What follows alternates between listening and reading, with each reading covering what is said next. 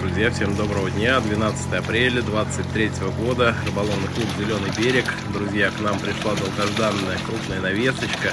Как и обещали, от кило 300 до 2 килограмм. Рыбка бодрая, веселая. Друзья, сейчас производим разгрузку в садки и уже завтра будем ее зарыблять. Так что всем, кому не терпится, ждем вас завтра. Ну а мы, друзья, продолжаем разгрузку.